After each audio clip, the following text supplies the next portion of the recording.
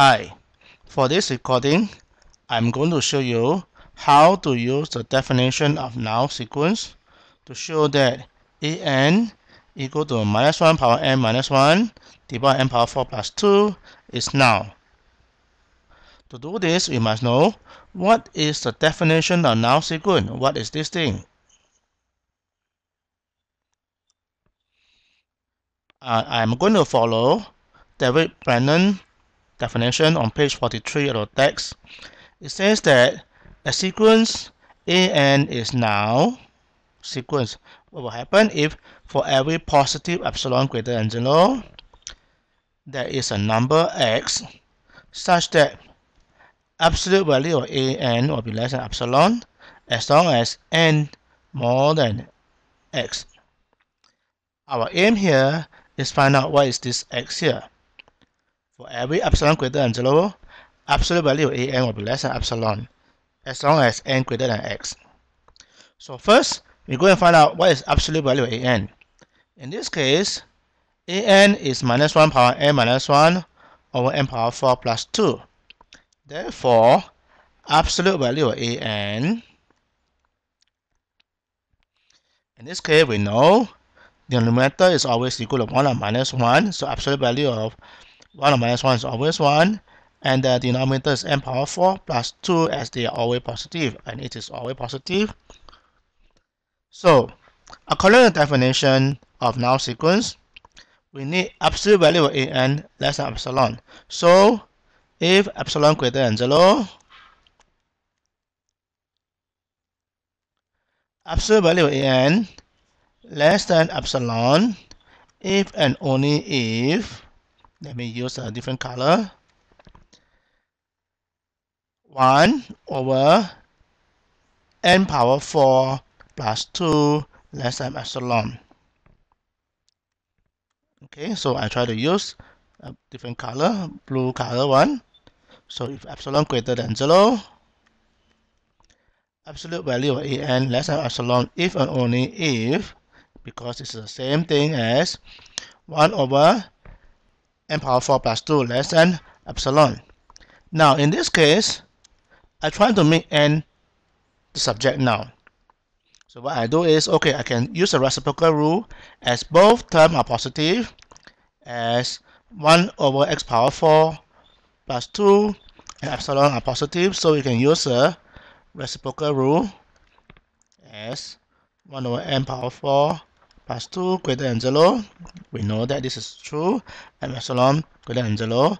Therefore, if you turn upside down, then n power 4 plus 2 will be greater than 1 over epsilon now by the reciprocal rule. Reciprocal rule of real number which says that if a less than b greater greater than 0 and less than b, then 1 over a greater than 1 over b. Alright, this is therefore now I want to make n the subject, so this n power 4 will be greater than 1 over epsilon minus 2 So I want to make n the subject. So I can say, alright, let's take the fourth root both sides null if, if as long as both numbers are positive, n must be greater than the fourth root of 1 over epsilon minus 2. So you may want to look at definition again. So uh, sequence is now if absolute value of an is less than epsilon, as long as n greater than x. And this x usually depend on epsilon alright? X usually depend on epsilon. As we have seen here. So what is my x now? So based on that information I could take x to be here. So I could take say x. So take x equal to fourth root of 1 over epsilon minus 2. However, there is a problem here. The problem is you are not able to take the fourth root if 1 over epsilon minus 2 is negative. What if 1 over epsilon minus 2 less than 0? Then we cannot take the fourth root. Therefore, we need to modify our proof now.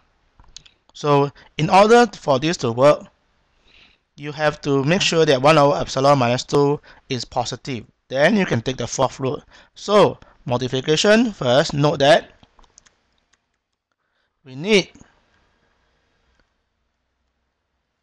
1 over epsilon minus 2 greater than 0. Otherwise, you cannot take the fourth root. So that means that 1 over epsilon is greater than 2. Since epsilon is assumed to be positive, given epsilon positive, so that means, so you can take reciprocal rule now, so epsilon must be less than 1 over 2. Now we have to modify the proof now. The proof is, go back, our, our condition is epsilon must be greater than 0, epsilon less than half. So therefore, you go back to change the proof now. So if epsilon greater than 0 and less than half. So now I'm going to change this. If epsilon greater than 0 and less than half. Then I can take x equal to this. I can take x equal to 4th root of 1 over epsilon minus 2 as long as if epsilon greater than half. Alright, so I can modify this thing now if epsilon greater than half.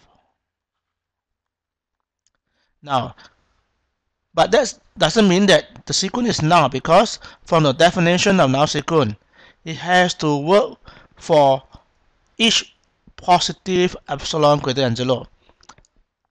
What I did was epsilon greater than 0 is true but less than half. What if epsilon is more than half now? How do you find the x? You need to find the x here depending on epsilon. So now let's consider again. Now if epsilon is more than half, then what is absolute value of an? Absolute value of an is 1 over n power 4 plus 2. And because n power 4 is greater than 0, we know this number is definitely less than half, therefore it's less than epsilon for all n. 1, 2, 3, 4, 5. So we may want to take x. So if you take x equal to 0, then we know that a n equal to 1 over n power 4 plus 2 well, less than half, less than epsilon, if epsilon is more than half, as long as for x for n greater than n can be 1, 2, 3, 4, 5 now, so for n greater than 0 will do. So this is my x now.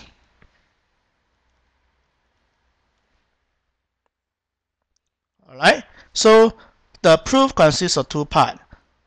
First part is if epsilon greater than a half, then absolute value n will be less than epsilon.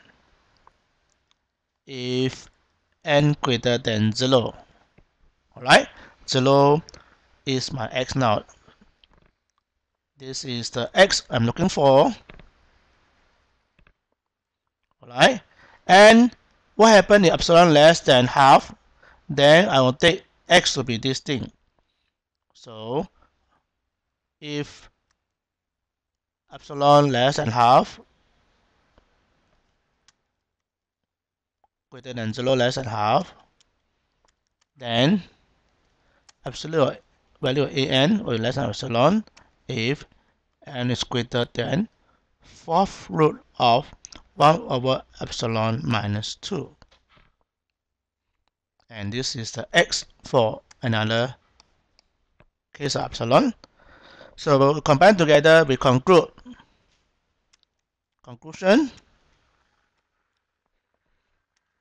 An equal to minus 1 power n minus 1 over n power 4 plus 2 is null by definition.